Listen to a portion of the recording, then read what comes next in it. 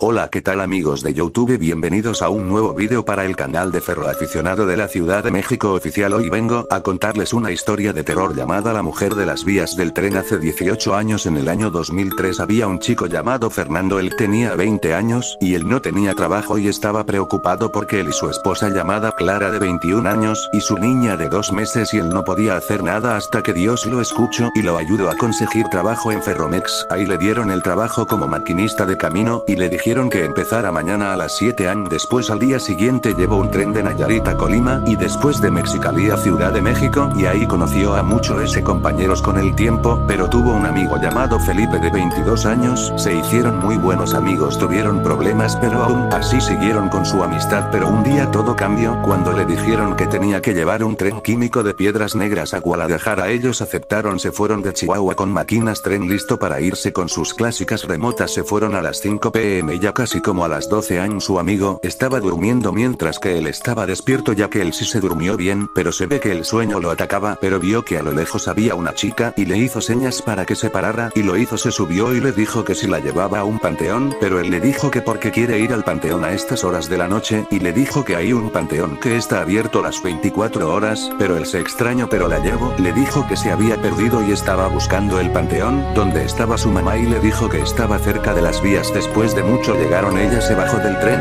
pero cuando Fernando se volteó a otra parte, ya no estaba como si se la hubiese tragado la tierra y sintió un escalofrío, pero vio a un velador y le dijo que si había visto a una chica, y el velador le dijo que no vio pasar a ninguna chica se acercó a él y le contó la historia de la mujer de las vías del tren. Era una chica que se había perdido y estaba buscando el panteón donde estaba su mamá para llevarle unas flores, y vio un tren le hizo señas al maquinista, pero él no lo hizo y se siguió pensando que no la vio pero el tren estaba bajando la velocidad y se subió llegó al panteón se bajó del tren después de ver a su mamá. Unos malhechores la quisieron robar y ella quiso escapar de ellos pero la capturaron la abusaron y mataron pero unos días después vieron su cuerpo y fue enterrada junto con su mamá. Después de unos años capturaron a sus asesinos y fueron sentenciados a muerte por asesinar a una chica. Fernando no entendía lo que pasó él sabía que era una broma pero supo que trajo a un fantasma en su tren le contó a su esposa amigos familiares y compañeros pero no le creyeron y él jamás volvió a hacer el